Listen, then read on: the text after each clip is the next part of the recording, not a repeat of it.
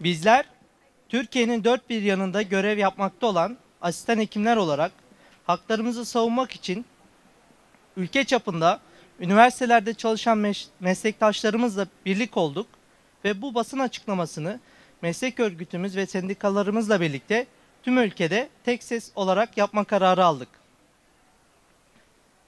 Ağır çalışma ve eğitim şartları, can güvenliğimizin olmaması, 5 dakikada bir hasta bakma dayatılmasıyla kalitesiz sağlık hizmeti verilmesi, 36 saatlik süren nöbetlerimiz, izinlerimizin verilmemesi, 30 gün 24 saat ücretsiz icap nöbetleri, malpraktis davalarında haksız ve orantısız rücular, normal mesainin yarısı kadar ücrete zorunlu tutulan nöbetler, adil olmayan ücret dağılımı ve emekliliğe yansıyan tek kalemde maaş verilmemesi gibi birçok özlük haklarımız ısrarla görmezden gelinmekte ve emeğimiz sömürülmektedir.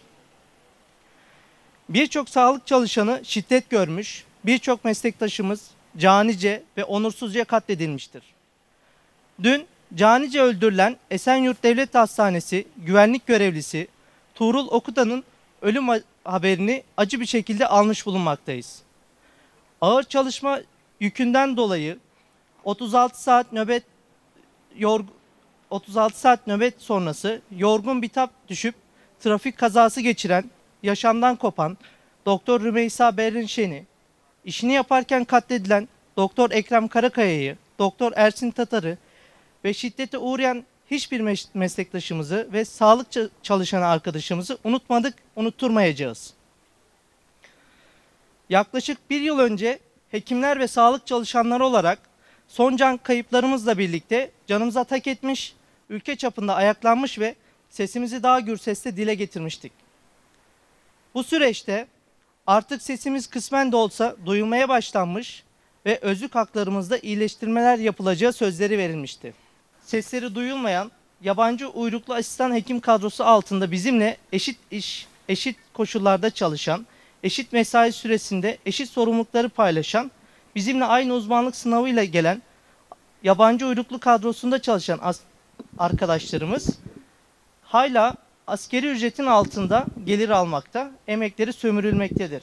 Sayıları 1500 civarında olan yabancı uyruklu asistan hekimler kadrosunda çalışan arkadaşlarımız özlük hakları ile ilgili yapılan hiçbir iyileştirilmeden faydalanamamıştır. Gözden hala gö- e, görmezden gelinmiş ve arkadaşlarımızın hakları bugünkü yayınlanan yönetmelikte ağ verilmemiştir. Biz bu duruma gözden gelmeyecek, e, görmezden gelmeyecek ve sessiz kalmayacağız. Bu yönetmelikten muaf tutulup mağdur edilmesi devam ettiği sürece eylemlerimize devam edeceğiz.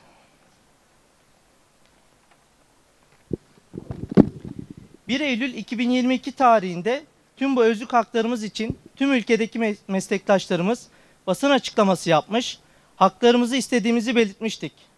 Özlük haklarımızın verilmesine ilk somut adım olarak 15 Eylül 2022 tarihine kadar diğer sağlık kurumlarında çalışan meslektaşlarımızla ayrıştırma yapmadan eşit miktarda ücret talebimizi karşılanması başlanması, aksi halde 15-16 Eylül tarihlerinde iş bırakacağımızı belirtmiştik. 15 Eylül 2022 tarihinde YÖK için yayınlanan yönetmelikte hak kaybına uğradığımızı, ayrıştırmalara devam edildiğini görmekteyiz. Tüm bu nedenlerle tüm ülkede bugün ve yarın iş bırakılması kararı alınmıştır. İş bırakma kapsamında acil servis ve poliklinikler, doğum salonu, e, elektif ameliyatlar hariç, COVID, onkoloji, hematoloji poliklinikleri ve tüm yatan hasta servisleri dahil edilmeden grevimiz yapılmıştır. Bundan sonraki süreçlerde hak arayan ve talepleri yeteri karşılanmayan tüm sağlık emekçisi arkadaşlarımızın mücadelesini destekleyeceğiz. Dayanışma içinde olacağımızı, iş, iş barışımıza sahip çıkacağımızı belirtiyoruz. Taleplerimiz yerine getirmediği takdirde belli aralıklarla iş bırakma dahil tüm hak arayışlarımıza devam edeceğiz. Mücadelemizden vazgeçmeyeceğiz.